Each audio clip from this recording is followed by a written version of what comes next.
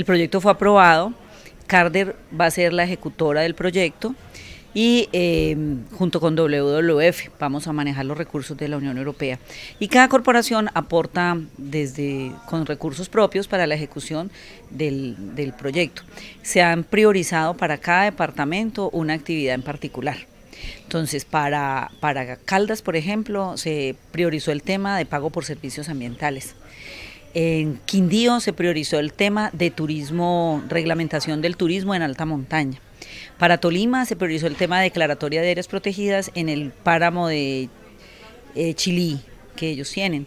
Y en Risaralda se priorizó el tema de reconversión de la ganadería en la alta montaña.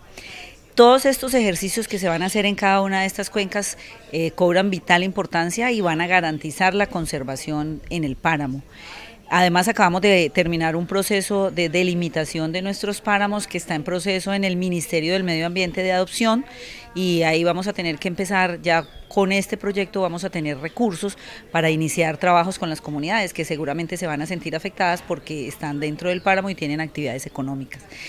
No solamente queremos hacer inversiones para protección del páramo, sino que también es nuestro propósito sacar, tener eh, estándares de manejo para cada uno de estos temas que aporten a la construcción de políticas públicas.